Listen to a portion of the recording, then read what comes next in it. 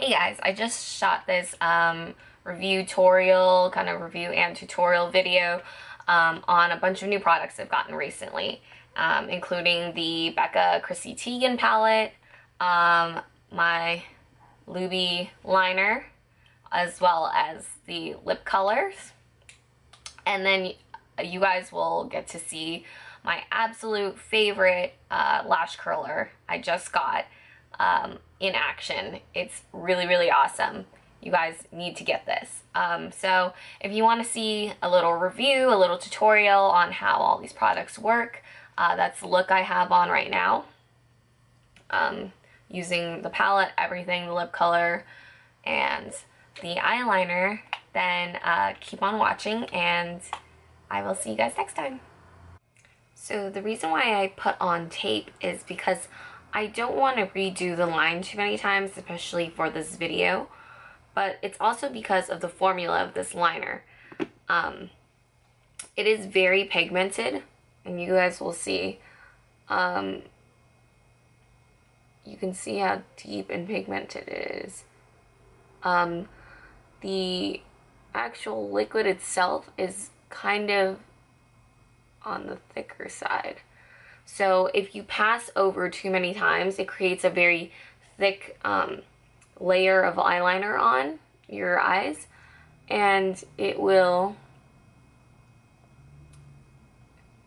it will kind of um, when it dries it will create these little flakes and it will flake off throughout the day. And so because I don't want to fix my liner too many times I've put the tape there so I can get a clean line the first time around. I don't know if you guys can see, but the texture of the eyeliner is, the finish is kind of shiny. Um, and you can see kind of where it's quite thick right here where I went over.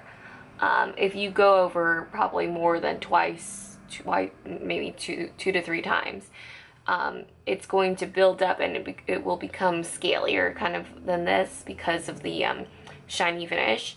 And then that will kind of flake off through the day and you'll have like little blue um, specks of liner. So that is the downside. But the finish overall is really, really beautiful. You can see it. It's quite shiny. It's very, very pigmented.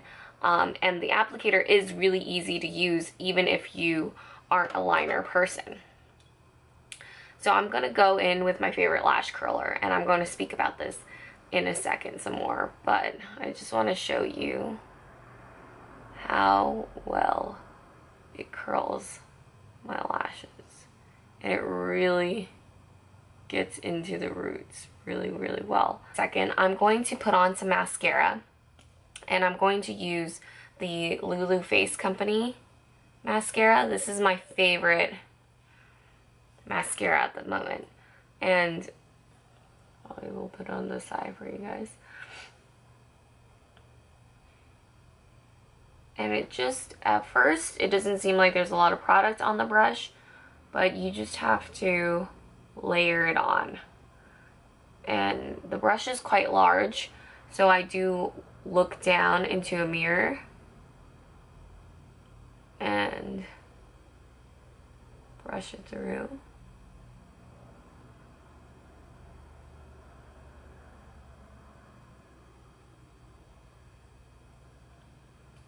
Actually a very nice mascara for the price. Um, and it just like holds the curl really, really well. It's very lengthening. Um, and you can get more volume, you just, like I said, you have to take time and really, really put on lately. And I don't know if you can see the difference. There's the one with the mascara and there's the one without mascara. So now that I have my eyes done, I want to talk a lot about the products that I just used. Um, the Louboutin liner. It is beautiful. The packaging is stunning. Um, I think the applicator is great. I think the formula is beautiful. Like I said, my I think the one downfall with it is if you layer it too much, it will flake off throughout the day, which um, is really disappointing for the price. But I think that it's a stunning eyeliner. Um, I really like the color. I mean, if you're going to choose, I feel like if you're going to choose um, a unique colored liner, I think this is really fun. The teal, deep teal, um, I think will flatter many skin tones and eye colors, uh, but isn't too bold or too crazy. I mean, they also have the red, which I think is, it's in a beautiful bottle as well. It's the ombre bottle. And then a black, which you know, that works for every day. So if you're a big liner person, I think you'll really, really like this. If you like that kind of shiny or finish, I think it's really fun. I'm not a huge liner person, but this has really made me love eyeliner. So um, I do think it's worth the purchase. Uh, the only thing I am disappointed about is, um, grab it. The only thing I am disappointed about is that it doesn't come in this beautiful kind of um, display package that the lipsticks often come in. So I don't have a lipstick in here, but um, they come in a very, very nice box. Um, and it just kind of comes in a regular old box. But, um, I mean, I guess you would want to keep it in the box because it's so beautiful. I, I keep it on my vanity. It's a beautiful piece um, to have um, as far as luxury beauty goes. going into my favorite new eyelash curler. This is from, um, I actually bought it from a Japanese store for $20, but I found it on Amazon for 15 so you guys can buy this. This is called, um, it's called Koji. I just like ripped it out of the box. Um, and it's a really, really nice eyelash curler for Asian eyes or if you have kind of the hooded eyes or flat kind of eye shape because I don't know if you can see, but it is very wide, but it's very, very flat. And it sits beautifully up against your eyelid and it gets into the very um, root of your lashes when you curl it. And so it gets amazing, amazing curl. This is better, in my opinion, than the Shu Uemura. And I love the Shu Uemura. I've had mine for... So, like I said, I think it's better than the Shu Uemura. Um, I have the Schumer right here. And let me see if I can show you. That you can see this has a lot more curve to it. This is much more flat. And you can kind of you can kind of tell. This is a lot wider and it, it kind of takes, because, you know, um, Asian eyes are so elongated, you know, we have lashes all the way out here, out here, but they're not getting they're not getting curled when there's such a curve to um, this curler.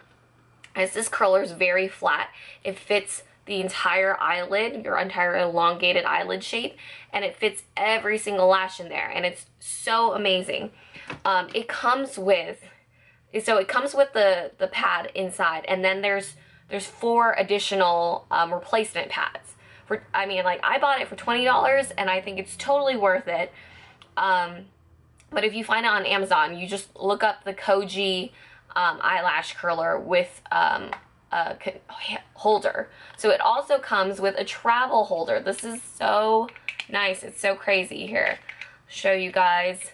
You guys can put it in here, close it up, and take it to go. That's so awesome. I've always wanted a case for my eyelash curler because I just, I didn't know what to do with it. Do I just throw it in with my brushes or do I just throw it in with all my makeup? It's kind of, it gets nasty, it gets crushed, and like you don't want to ruin the, um, the pad inside it. So such a, such a good eyelash curler. I think it's amazing. The price is really reasonable. If you guys can find it um, on Amazon or at your like local Japanese supermarket, I highly, highly recommend it. Um, and this is a product that I've already reviewed on my blog, but this is from Lulu Face Company. This is my favorite, current favorite mascara. And as you can see, it's very separating and lengthening. Um, and it does hold a curl really, really well, but it's not waterproof. But it does have kind of a water resistance to it, so it doesn't smudge. I've never had problems with it smudging. Um, the formula is quite black, and it just it, the only thing I have a problem with it does take a lot of time to build but if you if you know if you want to put in the time it it does create really really beautiful lashes. And the price is pretty reasonable. I believe it's $23 um, and it is a great mascara. So um, I'm gonna go into doing my face.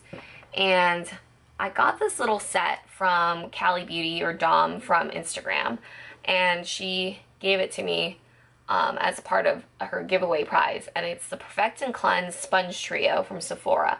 And I've been using this, and I absolutely love it. I haven't used sponges in a really, really long time for my foundation.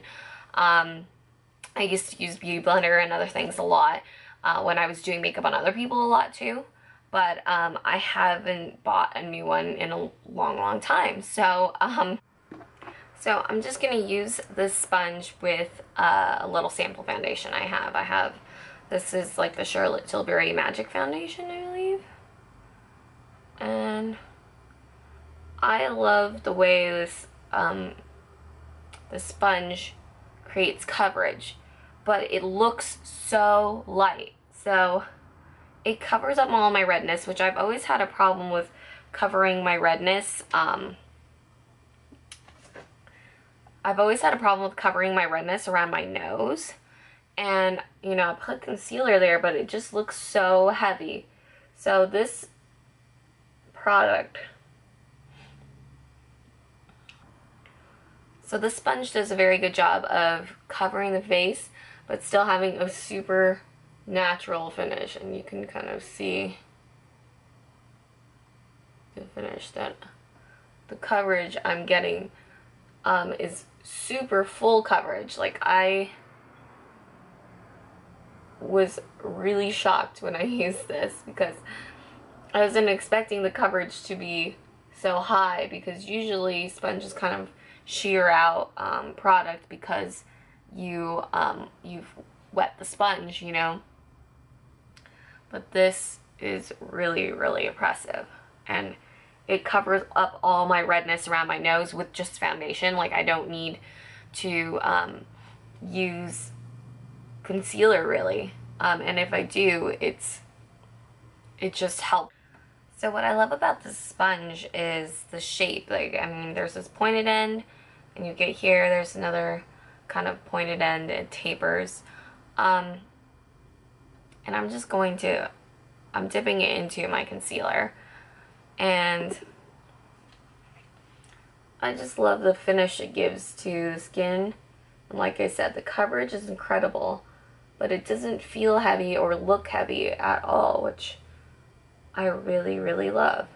Um, I'm always such a brush girl. Like, I love using brushes, and I never use um, sponges, but this sponge has really changed my routine. I'm I'm really loving the finish and the coverage I'm getting from it. And like even concealing, you know, you can dab on a lot of concealer. Like I have sunspots right here.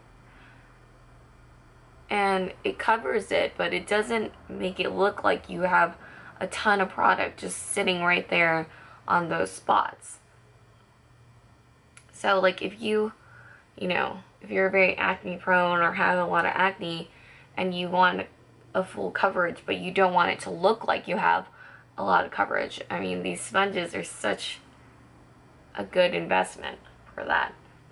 And I mean, I know it's silly, it's just I haven't used a sponge in so long that like I'm just amazed right now about um, the like the coverage I'm getting and just like the overall look I'm getting with um, this. And so I am very, very happy because it covers up all my dark spots and like discoloration spots that I have um, on my skin. So I've also been using the sponge to um, set my under eyes.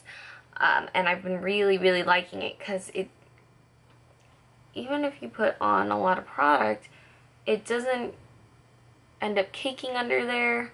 And it actually, it really does seal everything in there um, and prevent creasing. So I can see why everyone's all about the sponges. I guess I'm just really behind. I haven't used a sponge in a long time. But I'm all about it now. I think it's going to be my new thing because I really need it to seal in these concealed areas. Um, the problem I have throughout the day is that these, um, the areas where I conceal, especially around the nose, the time tends to break down and then all that redness is showing again. But now that I've been using the sponge, it really seals it in with the powder and I don't have to worry about that. So now I'm going to go in with the Becca Chrissy Teigen palette and I'm going to use the, let's see, I'm to use the bronzer in, uh, I think this is Malibu Soleil. And I really, really like this bronzer. Um, this is one of the things that I would definitely purchase um, as an individual product because it is so nice. I like I like the color. It's um has warmth to it, but it's not too warm. So it won't make you look orange or funny looking.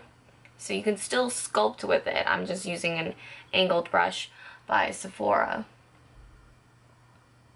And it does apply it beautifully. The um, texture is really soft and it blends so nicely into the skin. Um, this Malibu Soleil shade is kind of, it almost has like a slight rosiness to it, which makes it look very, very, very natural and makes it look like a true tan color um, on many skin tones.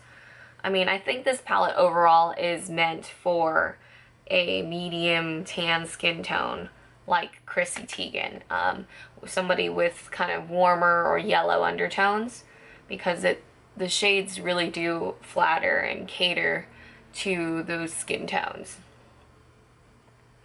And I'm just powdering or bronzing underneath as well onto the neck. So I I love this bronzer. I actually I wish that this was the in the big pan instead of the rose gold and the rose gold was in the smaller pan because I'm gonna tear through bronzer way before I you know finish one of even one of these um, highlighters. Um, I do like that this blush is in a small pan because it's really really pigmented and I'm not gonna I mean by the time I finish that, I probably will have finished everything else in the palette, you know. Um, and the blush is in Hibiscus Bloom. And I'm just to take another little angled brush. And I just take a little dot of it. And brush it onto my cheeks.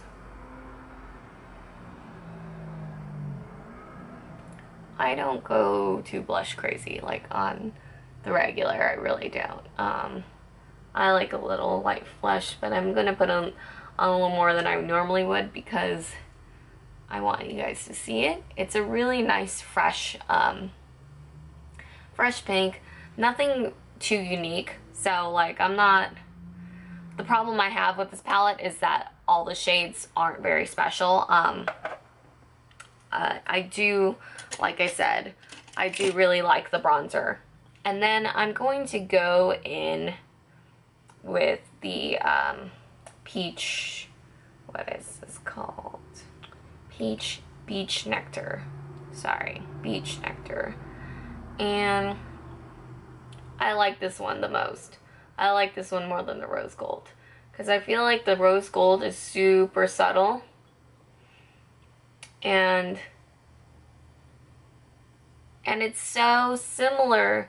Like these two are so similar. I don't know why you would put them in the same palette. That's actually the real issue I have with this palette is this rose gold shade feels so unnecessary. It's just a slightly darker version and more subtle shimmer than the um, beach uh, beach shade.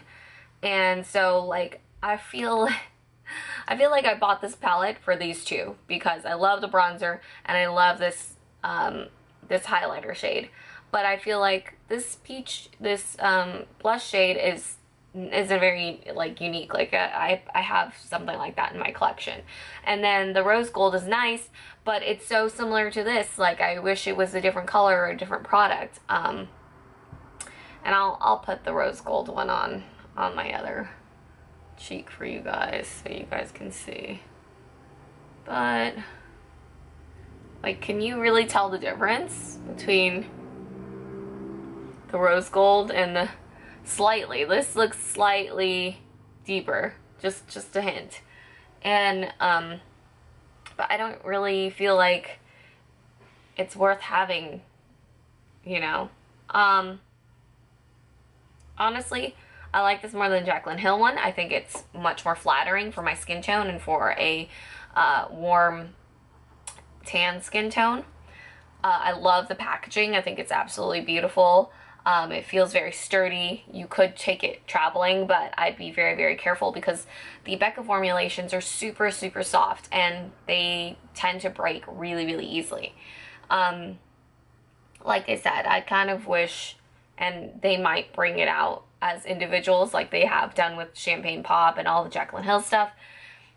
But um, I kind of wish I just bought this bronzer on its own. And then I wish I they had this as an individual. I would have just bought that. Um, a palette for me is nice, but not necessary. I don't really, like I said, I don't really know if it's worth it to have two two highlighter shades that are so similar. Like, I mean, I'm wearing one on each cheek and I don't really see the difference. Blush is okay. It's a nice color. It's very pigmented. Like I said, um, you can't really go wrong with Becca. Becca has amazing formulas. They're very soft. They're super pigmented and, and incredible. If you want to try Becca, I mean, I think this is great. Um, I think if you have a medium to tan skin tone, this is ideal.